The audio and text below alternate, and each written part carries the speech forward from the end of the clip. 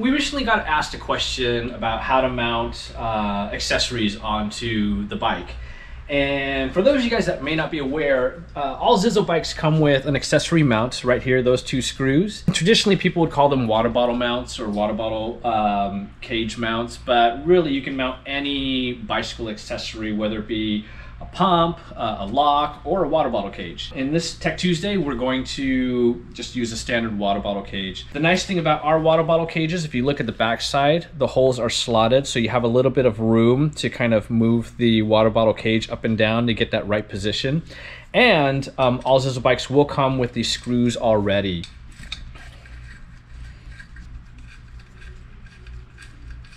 So I've got the screws undone and now I'm just screwing that back in using a standard uh, Allen wrench. It's a four millimeter Allen.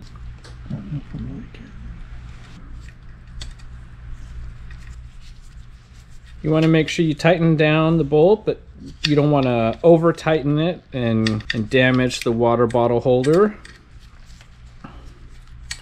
Now, the nice thing about this water bottle mount that we sell is it's actually adjustable. Um, when in the closed or, or, fully closed position, it'll hold a standard water bottle, either the, I think there's 16 ounce and 20 ounce, and they may have, have different sizes from that.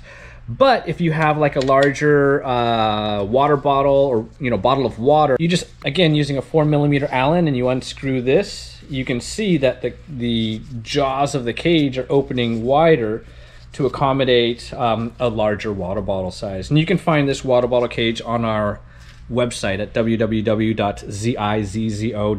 And that's it basically to get the water bottle cage installed.